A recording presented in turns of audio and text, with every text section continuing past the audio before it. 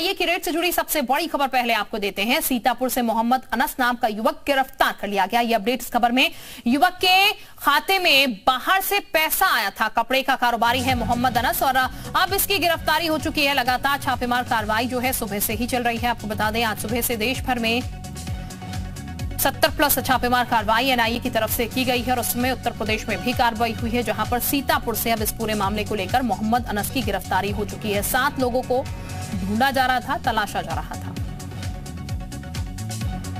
ताबड़तोड़ छापे मार कर देश भर में गैंगस्टर के खिलाफ बड़ी कार्रवाई की है। देश भर में 70 से अधिक ठिकानों पर छापेमारी की। ये रेड उत्तर प्रदेश, मध्य प्रदेश, पंजाब, राजस्थान, गुजरात, दिल्ली और हरियाणा में की गई। एनआईए ने ये एक्शन गैंगस्टर के आर्म्स डीलिंग और ड्रग्स रैकेट कनेक्शन मामले में किया है। गैंगस्टर नेक्सिस का जाल तोड़ने के लिए एनआईए आज सुबह से ही छापेमारी कर रही है। अकेले पंजाब में ही 30 से ज़्यादा जगहों पर छापे मारे गए। सूत्रों के मुताबिक गैंगस्टर और उनके गुर्गे नेपाल से होते हुए उत्तर प्रदेश के सीमांचल वाले इलाकों में हथियार खरीदने के लिए जाते हैं। साथ ही दिल्ली एनसीआर, राजस्थान, हरियाणा, मध्य प्रदेश, पंजाब में भी आर्म्स डीलिंग यानी अवैध तौर पर हथियारों की खरीद फरोख्त होती है। बड़े गैंगस्टर्स की बात करें तो लॉरेंस बिश्नोई के बेहद करीबी गैंगस्टर रहे। कुलविंदर के यहाँ भी एनआईए की छापेमारी चल रही है। कुलविंदर एक अंतर्राष्ट्रीय स्तर के ड्रग्स रैकेट से जुड़ा बड़ा माफिया है। वहीं बवाना गैंग के बदमाश निक्कू के ठिकानों पर भी रेड की है।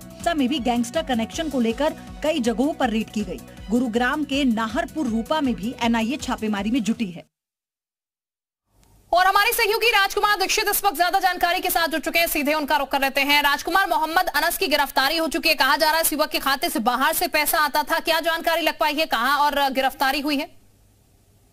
बिल्कुल, मैं शिल्पा आपको बता दूँ कि सूत्रों के हवाले से हमारे पास में खबर है कि मोहम्मद अनस को एनआईए ने हिरासत में लिया, गिरफ़्तार किया है। और कहीं ना कहीं अनस को जो हिरासत में गिरफ्तारी की जो खबर है, वो पुलिस के जो सीतापुर के आला अधिकारी हैं, वो इस बात की पुष्टि नहीं कर रहे हैं। लेकिन पुख्ता सूत्रों के हवाले से खबर मिली है कि एनआईए सुबह अनस के यहाँ पहुँची थी और अनस को वहाँ से एनआईए ने उठाया था। इससे पहले भी मतलब अनस सहित दो लोगों को एटीएस भी यहाँ से उठा करके ले गई थी और तीन दिन तक उनसे पूछताछ के बाद उन्हें छोड़ दिया गया था। लेकिन आज दोबारा एनआईए ने अनस को उठाया है और बताया जा रहा है कि अनस के खाते में बाहर से कोई पैसा आया था जिसको लेकर के एनआईए ने अनस को उठाया है शिल्पा। बिल्कुल अभी राजकुमार अगर बात की जाए तो कई लोगों की तलाश की जा रही है। ये कहा जाएगा ये एक बड़ी कामयाबी भी है। इस बीच जब ये पूरी छापेमार कार्रवाई चल रही है क्योंकि अनस से ज़ाहिर तौर पर पूछताछ होगी तो कई चीज़ें सामने निकल कर आएँगी।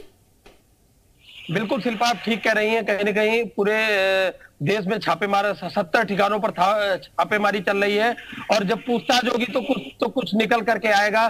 कहीं ना कहीं जो अनस के, अनस को एनआईए ने महमूदाबाद क्षेत्र से उठाया है और यह कपड़े का बड़ा व्यापारी है। इनके जो जो पिता है वो आरटीओ ऑफ़िस में, लखनऊ में कार्यरत बताए जाते हैं। शिल्पा